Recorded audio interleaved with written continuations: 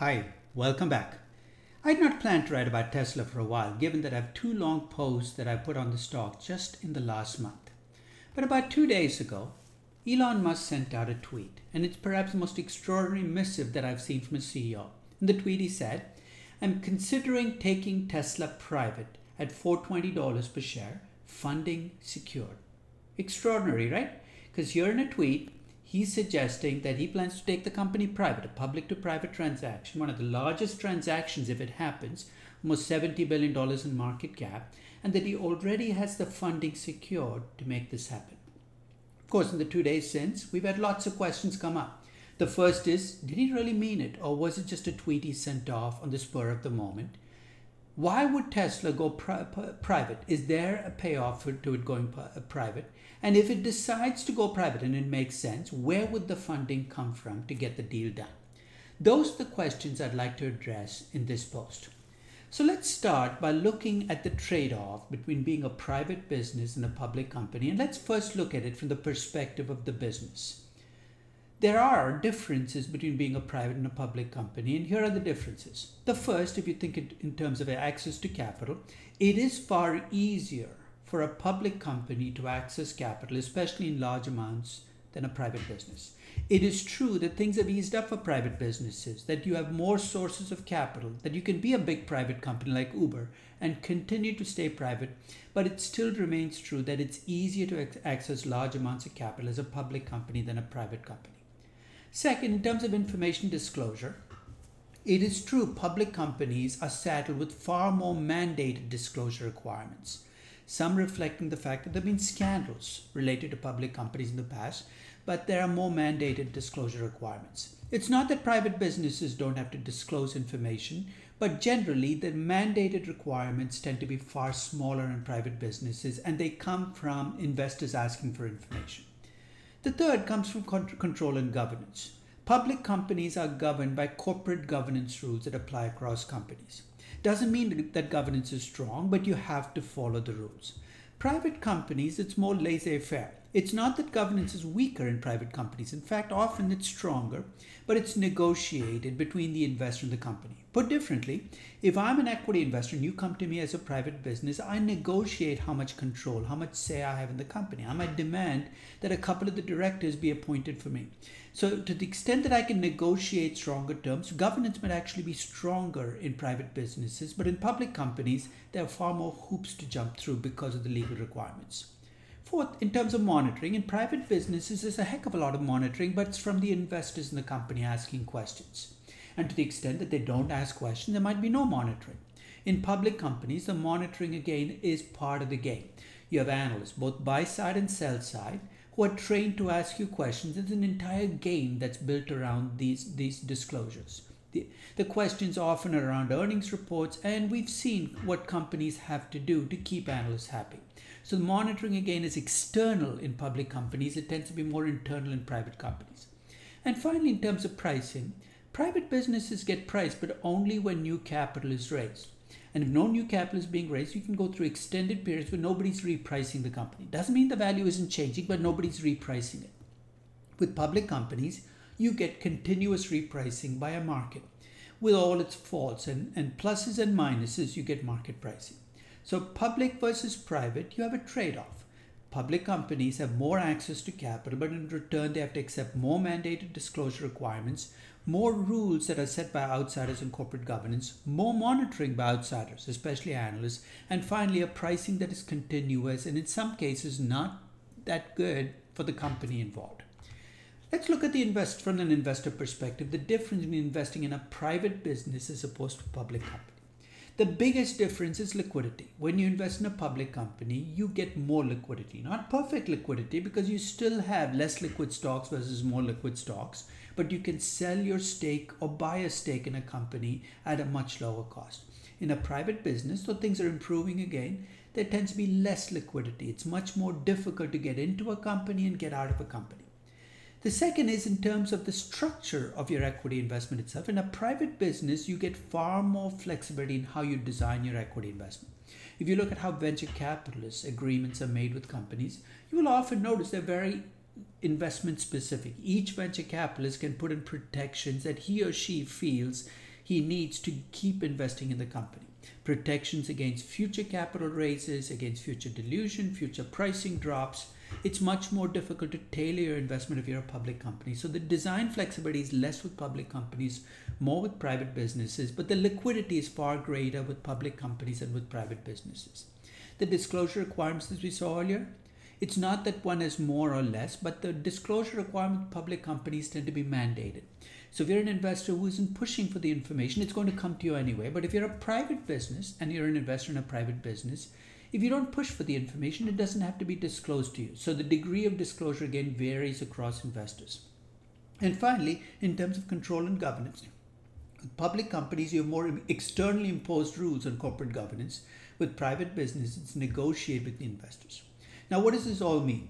If you're an investor in a private business and you don't have the power to negotiate better disclosure and better control, you're left you know, unprotected.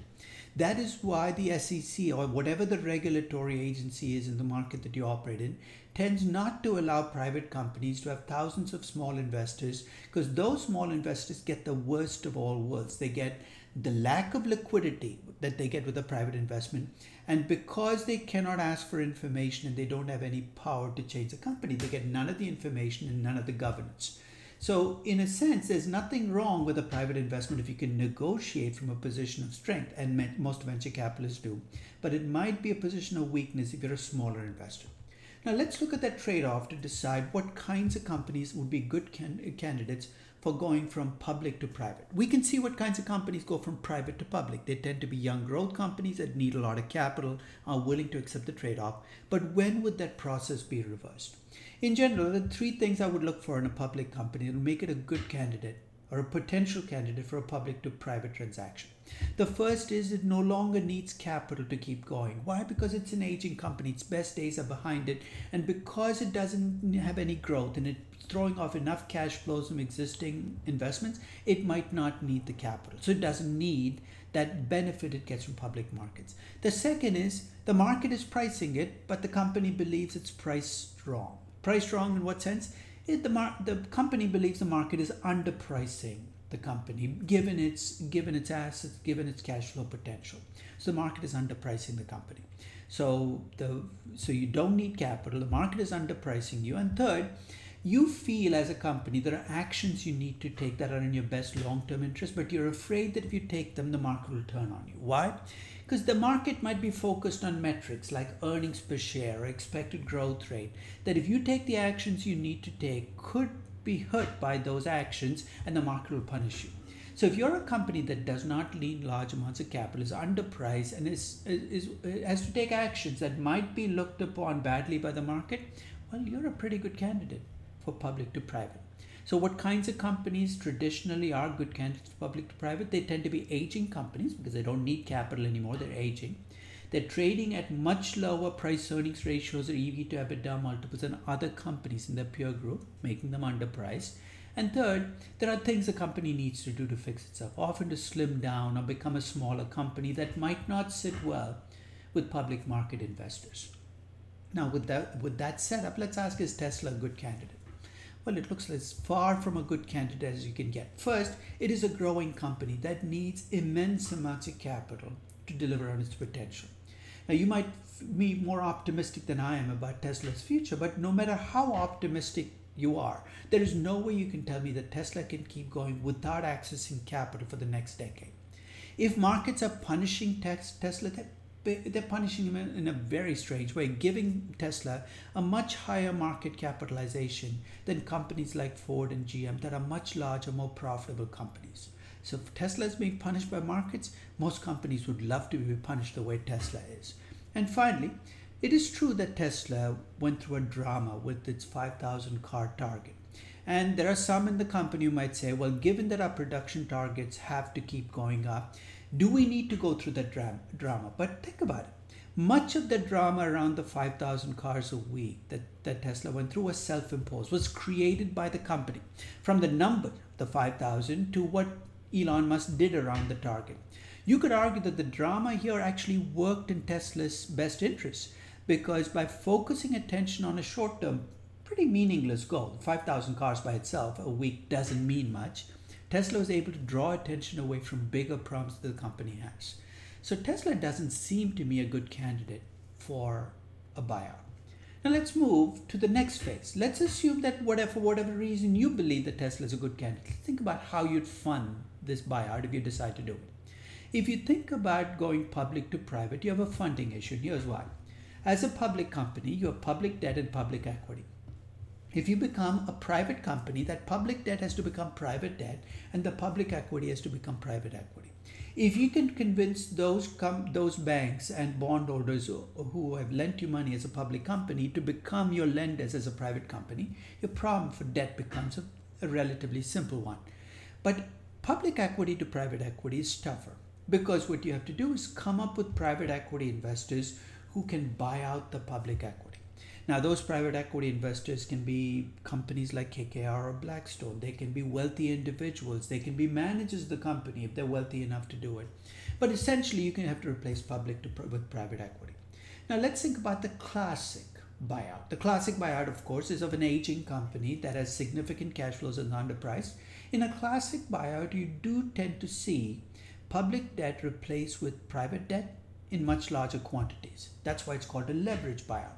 The reason being, if you're underpriced and you have good cash flows and earnings, you should be able to carry a lot more debt. So the people doing the buyout are able to borrow more. So they replace public debt with private debt, and often the private debt is much larger than the public debt. The private debt holders are not being stupid. They negotiate in covenants and protections for themselves. The public equity to private equity, the private equity is provided by a player like KKR or Blackstone that wants to make money off the deal and is supplemented by managers. You got to bring the managers into the game because you want to make their interests aligned, because you want to make sure this deal goes through. And the end game in a classic buyout is not to keep the company private forever, but to fix whatever problems you need to fix and then take it back public at a much higher price, in which case equity investors make a disproportionately large amount of money. Why disproportionately large? Because such a small slice of the company came from equity. That's a classic buyout. Could you pull this off with Tesla? Well, remember, Tesla is a money losing company with negative cash flows. It can't borrow any more money. In fact, I have a serious question about the $11 billion that Tesla already has. Tesla cannot borrow more money. So, the question is how does it fund this buyout? Well, Elon Musk suggested one solution that, if it can work through, is actually painless. He suggested that existing shareholders in Tesla could become shareholders in his private company. So basically, if you're a Tesla shareholder, you would replace your public company shares with private shares. And he gave an, and to give Musk credit, he said, "Well, if you don't want to do that, I'll buy your shares back at $420 per share." Let's assume that every single shareholder in Tesla takes Tesla, uh, Musk up on his offer and becomes a private company shareholder. Here's what you will have. Your 72 billion in public equity will become 72 billion in private equity. The existing bondholders, if you can convince them to stay on as debt holders, will become debt holders in a private company. If Tesla can pull this off, it is a painless solution. The only promise? Twofold. The first is probably not legal, and here's why. If every Tesla shareholder, the public company becomes a shareholder of the private company, Tesla will have more than 2,000 shareholders. You're saying, so what? The SEC does not allow a private company to have more than 2,000 private shareholders. So that's going to be a problem. Let's assume that Tesla is able to thread the needle and is able to devise some way of getting around this. And Tesla has been able to do that on a number of other fronts. The second problem is if you're a Tesla shareholder, even if you are a loyal shareholder, here's a question I would have for you. Would you be willing to own shares in a private Tesla where you've lost liquidity and you could have got $420 in cash in your hand today? My guess is a lot of shareholders, if they are given that option, will cash out at $420 per share. So, this solution, even though it looks so painless and looks great, is not going to work. So, what's the other solution? Perhaps, perhaps Tesla can find a big partner, a big investor who will fill in the gap. Well, there was some excitement about the Saudi sovereign fund investing 2 billion Tesla, but the Saudi sovereign fund cannot invest the 55 to 60 billion that Tesla will need to make this buyout happen. It doesn't have enough capital to invest that much in one company. So my guess is no investment fund is going to be able to invest that because you have to spread your bets. What about a big private equity player? The biggest private equity players might be able to pull it off. But the ones like KKR and Blackstone, this is not their game. They don't want to invest in a young growth company and hope that growth covers future cash flows. In fact, the only player that I can think who's big enough and who might play this game is SoftBank for three reasons. One is it has the size to be able to access capital to be able to do this. Second, it plays this game. It invests in young growth companies. It's used to cash burn. And third, the company does have a history with Tesla. There were rumors last year that Tesla and SoftBank were talking about doing a deal. The rumors went nowhere because of control issues. That might be the stumbling block here. Masayoshi Son, who heads SoftBank, is a bit of a control freak and is a bit of an eccentric. Does that strike you as um, something you've heard about another company CEO? Well, those are words you can use to describe Elon Musk. I cannot imagine Elon Musk and Mr. Son coexisting in the same company. It'd be a lot of fun. I would pay money to watch those two tango in a company. I don't see though how they can share control in Tesla. So, what does this all mean? Well, it goes back to that question of funding secured, which is what Elon Musk said in his first tweet. If this statement is true, I would love to see who he secured the funding from. If he got it from a bank, this must be an insane, an inept bank to be willing to lend that much money to a company that is a money losing company that will not deliver. Right? If the statement is false, we will be seeing lawyers debating the meaning of the word secured and funding for the rest of eternity. So here's what I have as a potential explanation. What of Occam's razors? Basically, it says sometimes the simplest explanation is the one that is be- the best one. It is entirely possible that we've been over ex- explaining what Musk tried to do two days ago. Maybe Musk did not intend to do a deal. Maybe Musk does not have secured funding. So he's saying, why would he do this? Well, I think it goes back to Musk's the, the, the, the, the war that has been fought out between Elon Musk and the short sellers in Tesla. Now, let's face it, every public company has short sellers. But the relationship between Elon Musk and the short sellers in Tesla is particularly poisonous. Musk is obsessed with the short sellers. In fact, think of how many tweets you've heard from Musk, you've seen from Musk about the short sellers and how he's going to bring them down. Rightly or wrongly, he believes the short sellers are out to get him and bring the company down. Okay. On the other side, the short sellers seem to hate Musk. In fact, when I posted about Tesla a few weeks ago and I found Tesla to be overvalued, I expected most of the backlash to come from Tesla optimists, Tesla bulls, arguing that I was being over pessimistic. I actually got backlash from Tesla short sellers saying I was being too optimistic, even though my value was less than half of the price. In fact, I think I have a sneaking suspicion that many Tesla short sellers, for them, victory will not just be making money on the short sale, it's seeing Tesla go out of business, Elon Musk go bankrupt. Investing is tough enough to begin with. If you make it personal, it gets doubly difficult to do. And both sides in this Tesla short selling game have made it personal. And I hope, I hope and pray this is not true, but it is it is possible that that that this entire episode can be traced back to Elon Musk trying to get back at short sellers. That two days ago he woke up with something, you know, bothering him about the short sellers, and he decided to put it into play by sending this tweet out. The reason I say I hope and pray from Tesla's perspective this is not true is if this is the reason Elon Musk has just handed the short sellers that he so hates the weapon they need to bring him down. So we'll find out what, what, what the truth is in the next few weeks because this is now in the legal arena and it's going to play out.